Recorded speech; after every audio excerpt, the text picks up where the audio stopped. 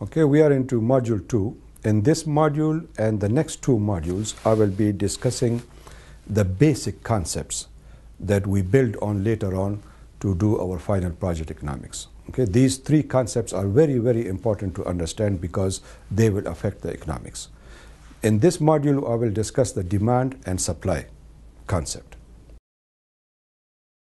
The law of supply and demand, the law of demand is buyers will purchase or demand more of a product as its price drop and less if its price increases. We see this in our day-to-day life. When there is a sale in the market, the people try to capitalize on that sale. They go and they buy products because the products are cheaper.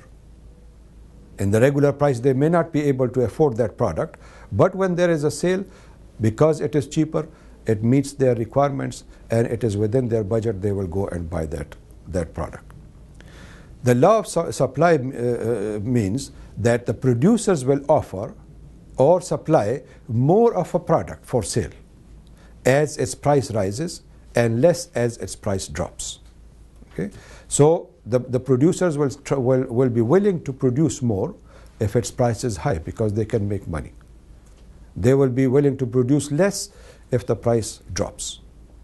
And that is, again, what is happening in our day to day experience in the oil and gas industry. The demand curve is usually downward, demand curve. And as you can see in this graph here, you can see that at $50, the product price $50 per unit, the demand for that product is only 5 units. But as the price of the product drops or the units drop, people are willing to buy more, so the product demand increases.